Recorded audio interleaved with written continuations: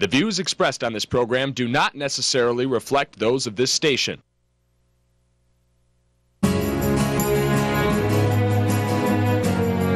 Welcome to Insights into Northeast Michigan. This is a Channel 11 News public affairs program dealing with the issues affecting those in the community as well as Northeast Michigan and the state. And now, Insights. Hello, everyone. Welcome to this week's edition of Insights. Now, on this week, we talk about prescription drug abuse and what local agencies are striving towards to cease this problem and tackle this issue in our community. So, joining me now is Donna Hardy's um, certified prevention specialist from Catholic Human Services. How are you doing today? Good. How are you? Can we talk a little bit about the Catholic Human Services and what your organization does? Yeah, Catholic Human Services is a local agency here in the community. We actually um, ha have services throughout all of northern Michigan. And my area is prevention. So we have a number of prevention specialists that go out in the community and do community awareness, education, do some activities in the school um, we have a life skills program.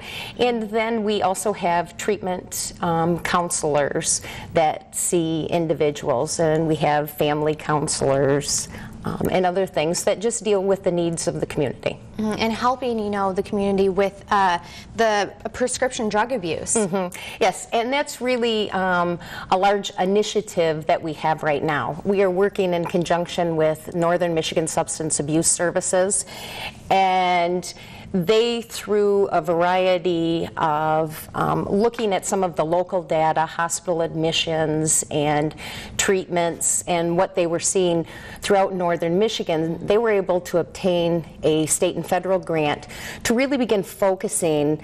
Um, a community awareness campaign on prescription drug abuse. And the campaign that we are working with with them is called be the solution. Okay. Uh, it's just a community awareness campaign that makes people aware of the issues that we're seeing with prescription drug abuse and gives them some ideas and tips, uh, prevention tips, things that they can work on to make a difference locally in their own home, within mm-hmm. their community. And that really is it, just a community awareness mm-hmm. initiative. Yeah. So. Is there a drug, a prescription drug abuse problem in northern Michigan? Yes, uh, there is. Uh, we'd like to think that you know it's all illegal drugs, illicit drugs that are the problem. But like it or not, right now prescription drugs are the second most commonly abused drug behind wow. marijuana. Um, you know, some of the things that started off, you know, right now the national statistics, and we're seeing the same statistics locally, um, but every single day 2500 teenagers try a prescription narcotic to get high for the first time mm-hmm. so it's a significant issue that we have to deal with mm-hmm. and the problem is um, the data is showing that teenagers between the age of 12 and 17 are trying these and you know mm-hmm. it's right behind marijuana if you talk to our local hunt team mm-hmm. they're seeing the same issues behind marijuana prescription drug abuse, sales, um, you know, diversions, mm-hmm. those types of things are what they're spending their time on. Wow. And, uh, you know, uh-huh. it, it's just sad how it can affect and wreck an individual's life. So you definitely think the prescription drug abuse problem is more in the younger uh, well, community or in older? It, it, it it serves the gamut. You know, it's through there, but the problem is we really are seeing a lot of issues, and a lot of our community awareness campaign is to stop the problem before it ever begins. Mm-hmm. Because there are a number of factors, especially with the youth, that they think it's all right. There's a misconception out there that, well, I'm just taking a Vicodin that a doctor has prescribed. I'm not doing heroin, I'm not doing cocaine, you know, I'm not doing anything like that. So it's that thing you know they're trying to pacify the situation mm-hmm. saying ah, it's not an issue and there's not a day that goes by when i go out and do a presentation that you don't hear some kind of story about you know the issues mm-hmm. that we're seeing and the problem is uh, this whole campaign, it, it focuses on a very simple message. It's monitor, secure, dispose. And it's Okay. making people aware what do you have in the home? Because most of us store our prescriptions either in the medicine cabinet, kitchen cabinet, And that's where out on the kids sink can have easy, access, to. Mm-hmm. Right there. A- And, that's one of the things easy access. They're in the homes, they're not going out and necessarily, you know, trying to buy or uh, Mm-hmm. get the different things. They will admit to getting it from a friend or a family Mm-hmm. member, and they have the easy access, they know where to obtain them.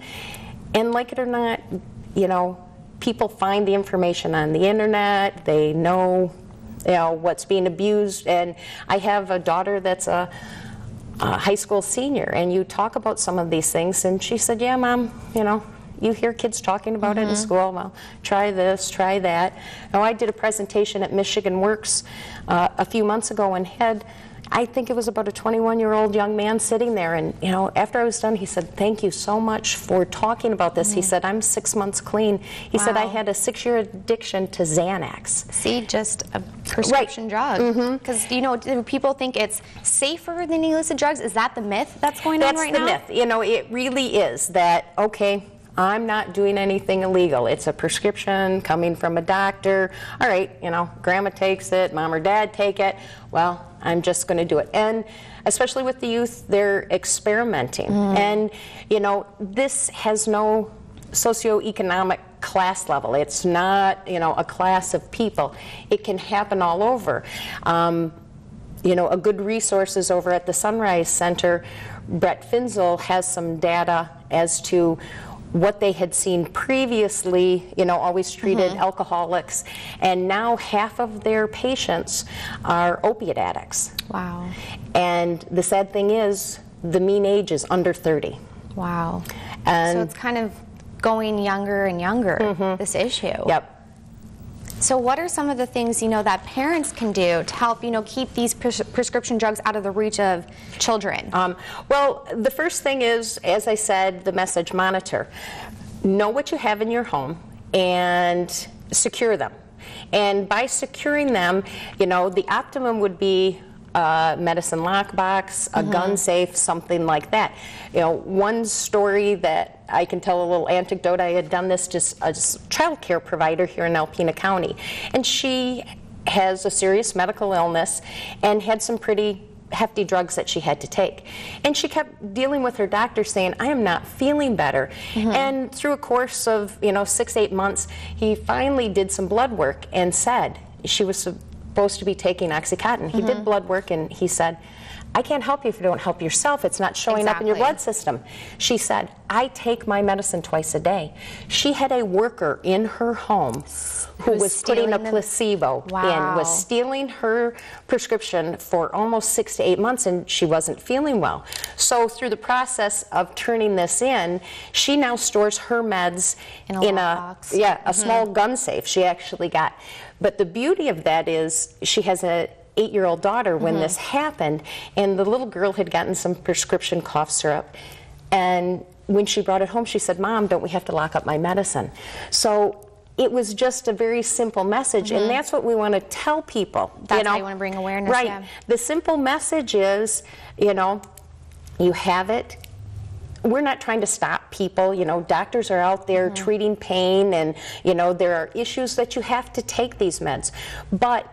Know what you have, know what they look like, keep them out mm-hmm. of the norm. Don't keep them out for easy access because you have family coming over, especially with the holidays. You know, this is a mm-hmm. great course of action to just train ourselves. Well, put them in the bedroom, lock them lock up. them up. Right. Keep them out of the norm. I happen to do my grandpa's meds for him. He's 88 years old. Um, so you need to let, especially the elderly, know because they have so many prescriptions that, you know, don't leave access out. Exactly. Don't tell everybody what you're taking. And individuals who get your meds from Medco and they come in a white mailer, know when your pills are there. You know, know when they come in, get them out of the way. Um, but monitor, secure, and then dispose. If you Just have those been three things, yes, Yeah, exactly. Well, you know, you gave us so much great information, and thank you for joining us here on Insights. And if we want to just get a little bit more information, or parents want more tips on this, what can they? What can, they, they, do? Um, well, first off, there's an excellent website. It's drugfreenorthernmichigan.com. Just spell it all out. I know it's Perfect. lengthy. And also visit um, our Facebook page. It's Drug Free Northern Michigan. Be the solution. And on that, you're going to see daily All different things, conversations yes. from prevention workers going out, you know, spreading the message. So- Mm-hmm. Okay. Well, thank you, Donna. But after the break, Donna will still be uh, sitting here talking to me about local programs to enforce this issue and more statistics about prescription drug abuse. Welcome back to Insights. Now, sitting with me still now is Donna Hardees from the Catholic uh, Human Services Center. Now, we are going to talk a little bit about the local efforts. Again, you know, the project of Northern Michigan Substance Abuse Services and what our local community is doing to help prevent Yep. this issue. And you know, as we said before, we have our you know monitor, secure, dispose, and I think one of the things individuals need to be aware of, we have a great initiative um, throughout the state of Michigan um, called the Yellow Jug Program, especially for disposal efforts. Okay. And we had talked about monitoring, securing, and now we're going to you know dispose. Well everybody, you know, wants to go back to their pharmacy, take back their unused prescriptions, things that have expired, they no longer want to take. Right now, the way the federal law reads, um, an individual can't take back to a pharmacy, even though they have the yellow jug program, they can't take back um, controlled substances. Okay. So Why, why is that? why is that? It, it's the way the federal law is. There's a chain of command, you know, to ensure that there's not abuse of these. So, um, right now, the only way to dispose of controlled substances is through law enforcement or a national take back day. Okay. So, the categories of drugs that we're talking about when we talk controlled substances, you first have your opiates, your pain type meds, um, and then you have your uh, CNS depressants, things such as Xanax. Um, you know, anxiety mm-hmm. type meds, and then also your stimulants, things to treat like ADHD. Okay. Um, so those are the meds that we're talking about. That if you had back surgery, knee surgery, and you have some Vicodin or OxyContin mm-hmm. left over, and we always hear individuals say, "Oh." I got a script and I took three of them. I didn't need it. Mm-hmm. Now I've got them, I've heard in my freezer, in my sock drawer, whatever. How do I get rid of them? But they can't return those ones. Not to the pharmacy, but they can return them to law enforcement or on a national take-back day. And we are so fortunate here in Alpena County because our police Mm-hmm. post, our Alpena State Police Post, collects on a regular basis. Okay, Um, they do. You know, with Mm-hmm. Hunt here in town, you know, we're very, very fortunate.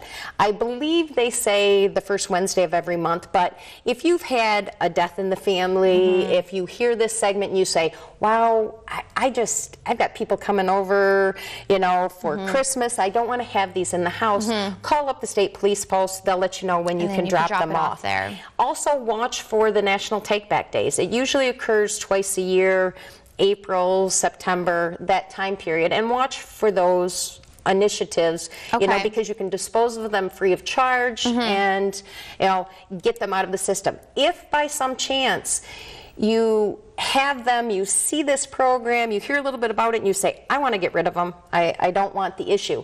Um, we recommend please don't flush for environmental purposes. You Okay. know, so Now, if what are some to, of the disposal tips that um, you know the community can do to dispose Yeah. of these drugs? What we recommend is to take a compound such as use coffee grounds or kitty litter. That doesn't have to be used, but, um, it's a good it's yeah. a good way to. Yep, and so what we it out. recommend, possibly dissolve them, crush them, put them in that medium, tie them up, secure them, put them in your trash. They're going to go through the landfill Mm-hmm. and they'll go through treatment, so we don't have any groundwater issues then Okay. with those types of things. So it doesn't dissolve. So don't flush it. Yeah. Put it in coffee grounds or kitty litter Yeah. to be thrown out. Okay. And have you seen a problem with uh, kids taking these prescription drugs and selling them at school and other and to their friends? Um, there's there's a slight issue with that. I, I mean, there's definitely money to be made. Um, I would recommend getting a hold of Hunt to find out what the current street value is, but of course, it's always an issue. If they find out there's a profit to be made, you know, there are people that are drug seekers, doctor shopping, you know, whether they're abusing themselves or trying to make a profit off that, it's always something to be aware. And as mm-hmm. parents, we need to have that constant communication and educate our kids. You mm-hmm. know, don't try something. It, it's sort of like the whole synthetics issue that we mm-hmm. had in the community last year. It's, you know, people sharing information, educating their kids, educating other parents.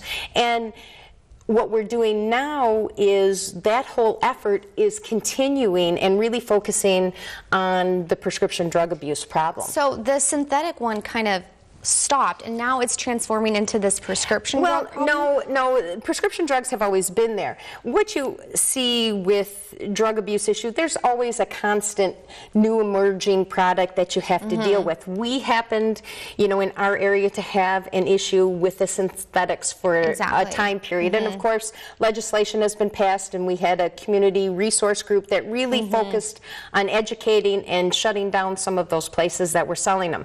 Now, has it totally gone away? No. Parents still need to, you know, stay on top of it, watch for behaviors and different issues, and if you see anything suspicious, of course, report it to, you know, law enforcement.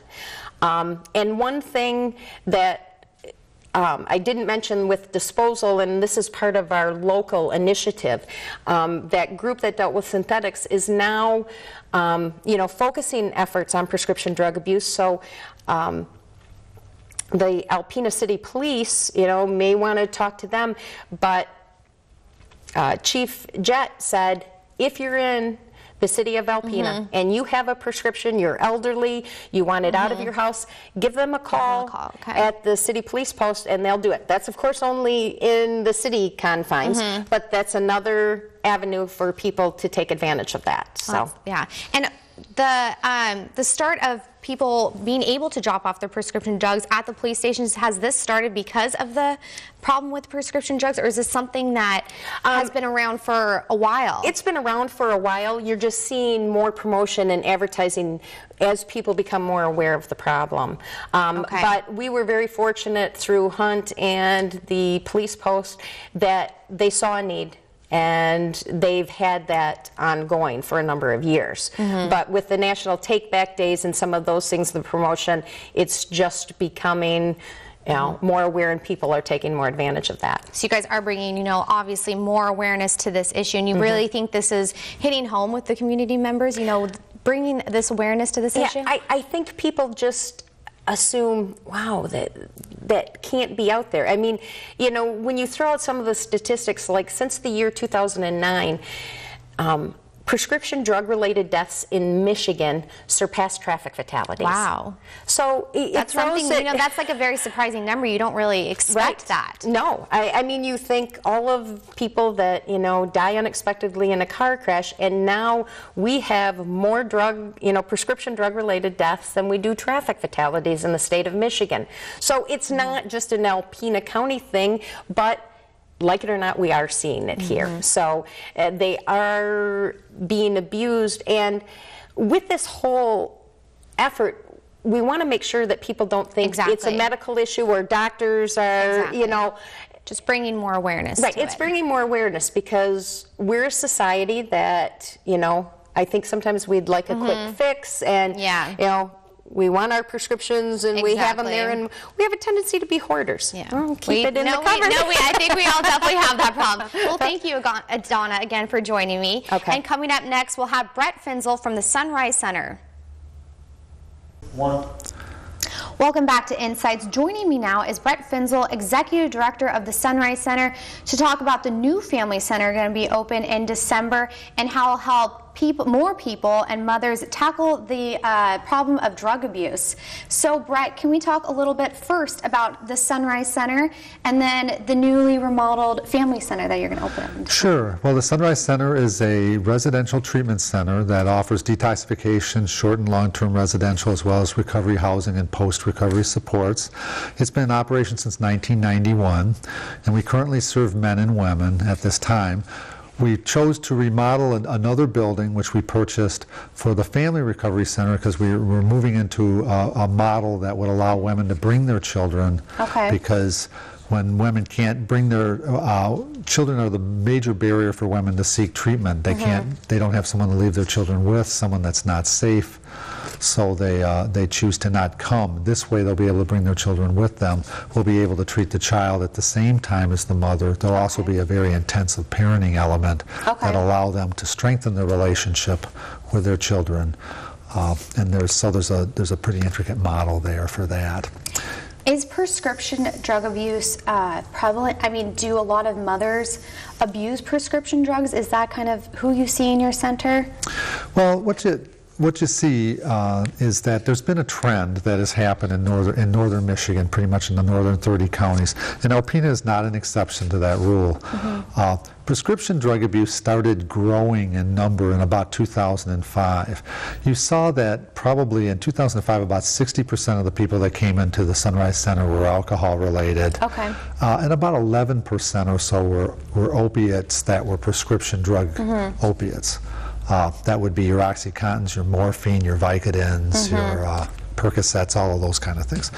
Uh, well, you know, last year it was 46% of our admissions were opiate admissions from prescription drug use. So that's increased. Yeah, I think that from 11 to 46% in a matter of seven years. Wow. That's so it became huge. It kind of exploded, is what happened. And you also have kind of a, a, a secondary issue that's with that, which is the issue of uh, heroin use, because heroin use is an outbreak of uh, addiction, uh, prescription drug abuse. In a sense of that when a person is getting a prescription, let's say they're getting it legally, but then eventually they can't get it for whatever reason. The doc decides they're not going to prescribe that anymore, the person doesn't want that anymore, whatever that, that might be. Uh, they end up, uh, they try to seek it on the street, and eventually they get it on the street, but it's, it's let's say $80 a pill or something mm-hmm. like that. Well, eventually they can't afford that, obviously. Heroin is about $15 a pack. So what happens is they start using heroin instead of the prescription drug that they had started on for whatever reason.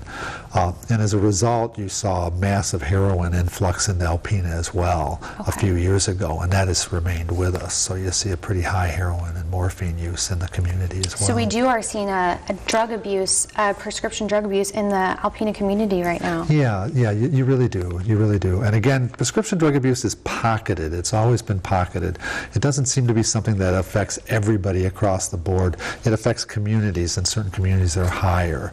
And in northern Michigan it's been noted for that, that we have this high use of prescription uh, drug use. And uh, that brings it, and there's some major issues with prescription drug use from a treatment standpoint that aren't necessarily there for some other drugs. As an example, many of the times a person might have a, uh, they might have had a legitimate pain issue when they started using their prescription drugs.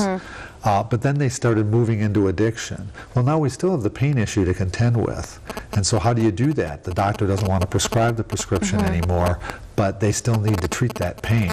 So, we have to kind of work with that. Many of the other uh, drugs that are uh, abused might be psychiatric in nature, the ADHD drugs, as an example, something like that. Well, you still have a person that has that problem. They still have that issue, but now they can't take the medication because they've been abusing it or they've moved into addiction. How do you continue to treat that issue? So it's a pretty complicated issue that It way. definitely is. Well, let's talk about the steps you take with some of your residential um, people that come into your center. What steps do you take to help them with the recovery process? Well, normally if they came in and they were on a prescription drug that they were that they had found they, they were abusing, they might need detoxification. So they're going to be taken off of that drug. And that drug is, uh, you know, we're going to use another drug to help them off of that drug. But in about three to five days, three to seven days, they're going to be off that drug. And then they're probably going to uh, remain in residential treatment a while while we're working with those other issues, trying to figure out exactly how does one uh, do that. We're going to be talking to the primary care physician, or we're going to be talking to the psychiatrist. We're going to get an integrated plan with that person of how they go about do that. And then they're going to learn how to do coping skills that might help with that. Okay. As an example, relaxation is a great thing to know if you have a pain condition, because actually a lot of times relaxation can help reduce the pain uh, without even taking a medication. So they would learn those skills, or they would learn other ways of, of uh, you know, handling stress and those kind of things, mm-hmm. because all those contribute to a pain condition, as an example. And then eventually, we're working with family as well to Okay. reintegrate them back mm-hmm. into their family. And then sometimes some people have to stay in transitional housing or recovery housing until they, they're straight long enough, and then they would step back into their families as well. So with the new family center that's going to be remodeled and that's going to open in the beginning of December, correct? Well, we're hoping it's in December, yes. Well, do you think um, more women are going to come in to seek treatment because they can bring their child in? Yeah, I think that you're going to see more women, well, that's a barrier that'll be removed, so more women will access treatment.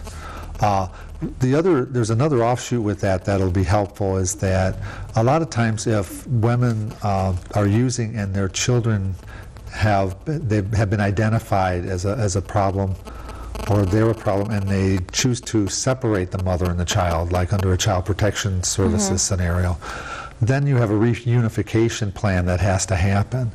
And this way, we're hoping that the child won't necessarily have to be separated and placed in the foster care or something like that. They can, they can remain with the mother because the mother will be in a safe place she won't be using. And then we can work to strengthen that family without ever having to separate them. Because once you separate them, then it's a long Exactly. process to be able to get your kids back. And So it's that's- definitely going to yeah. help tackle that issue. So if people are looking for more information on your center, what can they what can they do? Well, they can look us up on the on the at our website at www.sunrisecenter.org. They can look us up on Facebook.